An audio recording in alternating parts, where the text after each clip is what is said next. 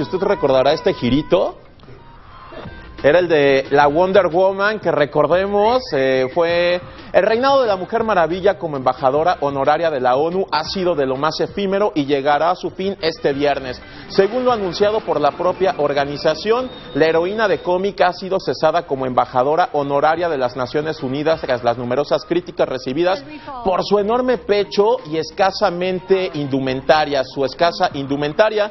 La decisión llega apenas dos meses después de que las Naciones Unidas le otorgaran la mención el pasado 21 de octubre a la heroína de DC Comics. La organización internacional pretendía utilizar su imagen en una campaña para el 2017 para luchar por la igualdad de género, especialmente para atraer la atención de los jóvenes. Y recordemos que estuvo Linda Carter y Gal Gadot, eh, pues mencionando la importancia y la relevancia que tiene Wonder Woman. Ella, Linda Carter, famosa en los 70 por haberle dado rostro en la televisión, y Gal Gadot el próximo año tendrá su propia película. Apareció en Batman contra Superman pues una lamentable noticia y un tanto machista, por así decirlo. Ya estamos en el 2016, 2017 casi, y seguimos con esa mentalidad.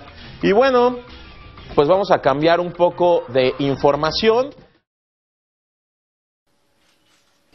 Te invitamos a seguir cuestionando la información con los siguientes videos.